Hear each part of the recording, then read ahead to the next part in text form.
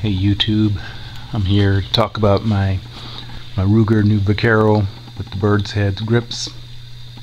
It has the three and three quarter inch barrel and it's in 45 Colt. I chose to get the blued model. I like the all black look. I haven't shot this yet, but I'm looking forward to it.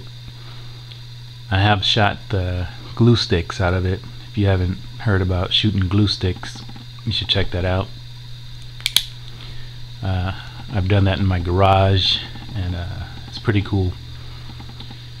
I'm gonna be shooting reloads out of this thing. I'm working on these. These are bonded hollow points. I'm gonna work my way up from a, a light load up into a range where they'll do what they're supposed to do. Nothing too hot, just enough to uh, expand the way they're supposed to. It's a really heavy gun, so I think it'll handle pretty heavy loads. Not like the original Vaquero, but enough to get things done.